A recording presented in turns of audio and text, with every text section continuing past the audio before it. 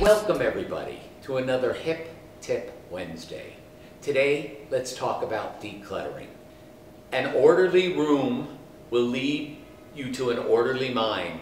Your messy room will make things harder to find.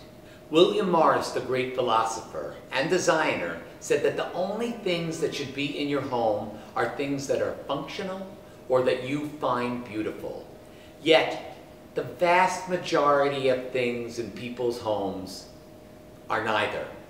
You'll find that there's a clinking, clanking, plunking, caliginous pile of junk in a lot of houses. And it's important to get rid of that. And you might start by asking yourself, why can't I throw it away? Could it be that these things have an emotional attachment for you? And you have to break that first and that's why you can't get rid of them. And you ask, why am I so attached to these things? The why is not important. Nurturing the ability to let go is what counts.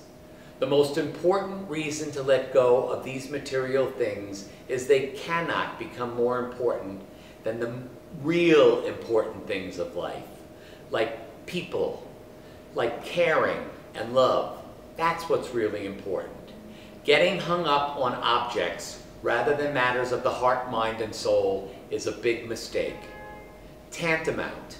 Having all that junk around you is unhealthy. Let it go. Enjoy your life. Don't have all that clutter around you. Life is complicated. Your home should not be.